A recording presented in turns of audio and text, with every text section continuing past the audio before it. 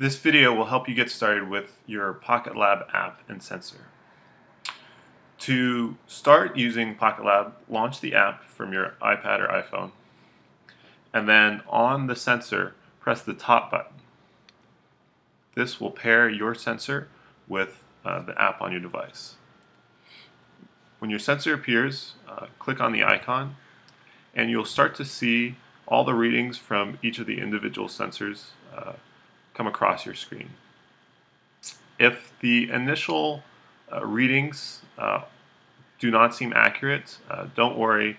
The sensors are um, calibrating and they should return to a more accurate uh, reading um, in a few minutes. The sensors built into the Pocket Lab um, device are uh, an ambient temperature sensor, which reads the temperature internal to the device, an IR temperature sensor, which is located behind this left eye, um, and this will detect the temperature of an object that it's pointed at. Um, so if we point the Pocket Lab sensor at a, a glass of ice water, um, we will see the IR temperature reading start to decrease. And then if we remove it, the temperature will go up.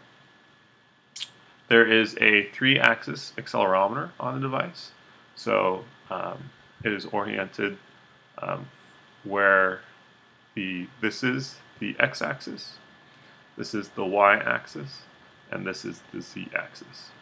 There's also a, um, a plot of the overall magnitude of acceleration.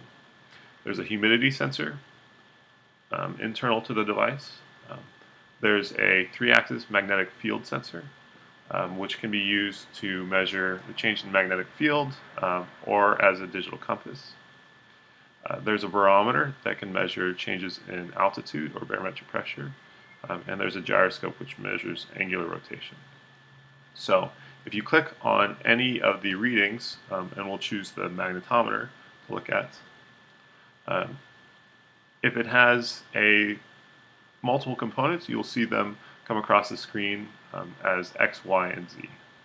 Now, um, if we change the orientation of Pocket Lab with respect to the Earth's magnetic field, we, we will be able to see a change in the, um, the magnetic field reading.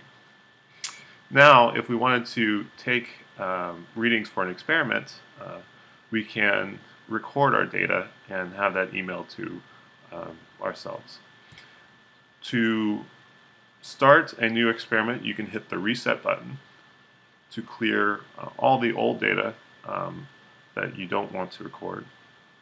And then in a minute, the device will start uh, recording new data. And now let's say I wanted to look at the strength of a magnet um, from the refrigerator. Uh, I can set up my experiment where I bring the magnet in close proximity to the sensor and I can measure the distance, look at the change in the magnetic field, and then hit stop on my iPad. And this will stop the recording and it will um, create a um, email that you can uh, send to yourselves with uh, the data recorded in the body of the email and then also at the bottom as a CSV file, which you can import into um, any program that you'd like.